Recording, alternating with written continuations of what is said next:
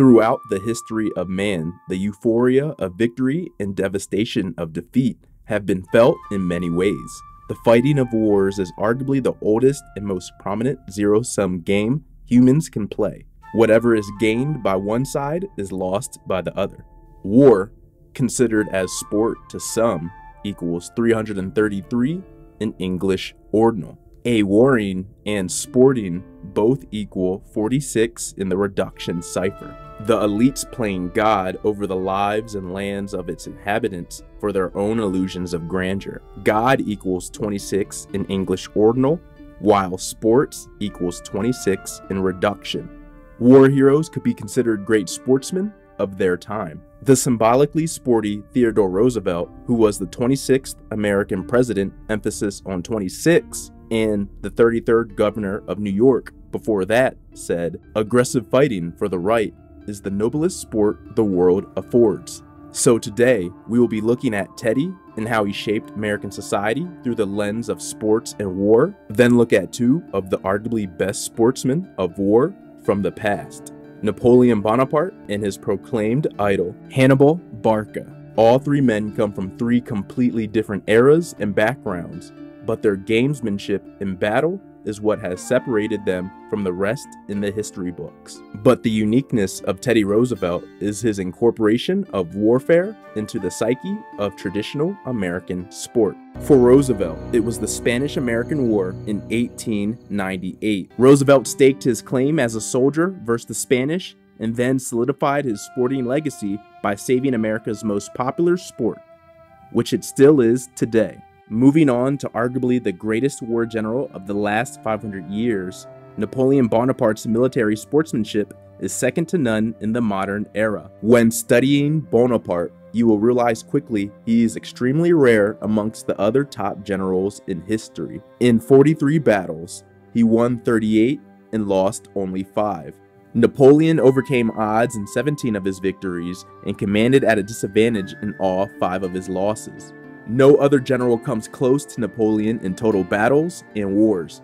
Within this graphic, he is on the top right, alone with no one around him. Julius Caesar was the closest, but Caesar did not face many refined militaries under United Nations from his era. Most of his battles were against tribes from the countryside, the Gauls. Napoleon also had double the amount of official wars than Caesar. These were the biggest differences between the two. In sports terms, Napoleon had a much harder strength of schedule and played a lot more games, which is why the 43 battles Bonaparte fought in and who he fought against solidifies him as the modern day war GOAT. GOAT equals 43 in English reduction.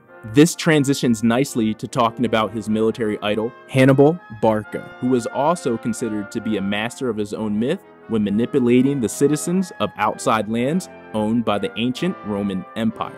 Master propagandist equals 216 in English ordinal. The greatest war generals in history, birth date apart, equals 216 in English reduction. Hannibal Barca was born 247 BC and Napoleon Bonaparte was born August 15, 1769, which was very late in the year.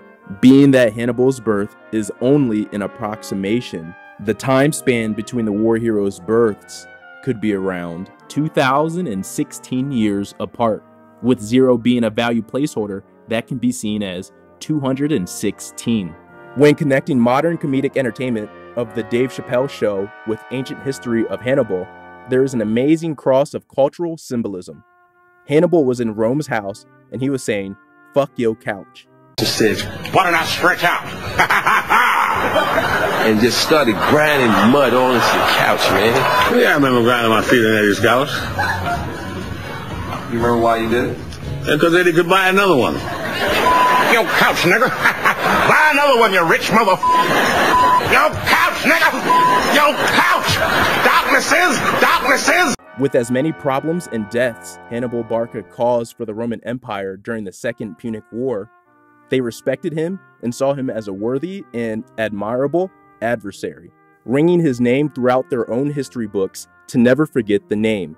The saying Hannibal ad portas means Hannibal is at the gates, a refrain describing Hannibal's near conquest of Rome, was used to scare naughty Roman children for decades after his death. Even in his own time, Hannibal Barca left an indelible legacy. Roman generals like Scipio Africanus, who pardoned Hannibal after the Battle of Zama, respected him immensely.